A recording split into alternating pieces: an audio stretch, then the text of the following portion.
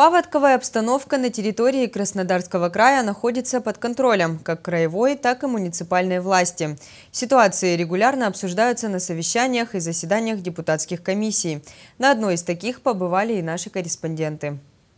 На этой неделе состоялось заседание депутатской комиссии по вопросам обеспечения законности, безопасности, правопорядка, местного самоуправления и депутатской этики. Главной темой стало обсуждение сложившейся паводковой обстановки на территории нашего района, а также работы органов власти в режиме чрезвычайной ситуации. С докладом выступил начальник управления ГО и ЧС Павел Анопченко. Поскольку это главная угроза на территории района, Этому направлению, состоянию дамповолования, состоянию русел рек уделяется максимальное внимание. На сегодняшний день уровень воды в реках протока и Кубань снижается. Как отметил Павел Анопченко, по-прежнему на семи постах на протоке и 19 подвижных на Кубани специалисты следят за уровнем воды и каждые 4 часа передают данные в оперативный штаб. Своевременное обнаружение угрозы, информирование населения, незамедлительное устранение последствий – это одни из важных задач управления ГОИЧС. Все органы местного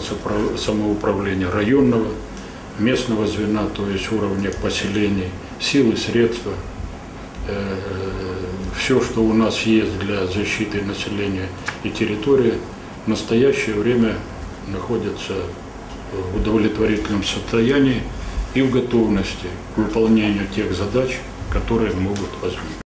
Кроме того, в ходе заседания было отмечено, что для предупреждения и ликвидации чрезвычайных ситуаций в нашем районе создана специальная комиссия. Регулярно проводятся командно-штабные учения, где проверяется готовность всех сил и средств. Заседание депутатской комиссии по вопросам обеспечения законности, безопасности, правопорядка, местного самоуправления и депутатской этики проводится один раз в три месяца. Депутаты доклад руководителя ГОИЧС Павла Анопченко приняли к сведению без поправок поправок и призвали в дальнейшем совершенствовать методы работы по предупреждению и ликвидации чрезвычайных ситуаций на территории нашего района.